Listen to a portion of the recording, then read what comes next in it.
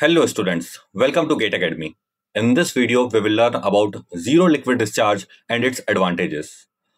In normal situation, it is seen that industries like power plant, chemical fertilizers and textile uses water and generates lots of wastewater. This water is treated and then released into water resources. The problem is even after the treatment, this water contains lots of chemicals and salt which harms the environment. To stop this, ZLD, that is zero liquid discharge, is one of the best solution. In this, the wastewater is collected and treated through methods like filtration, evaporation, and crystallization. The clean water is collected and again reused in the industries.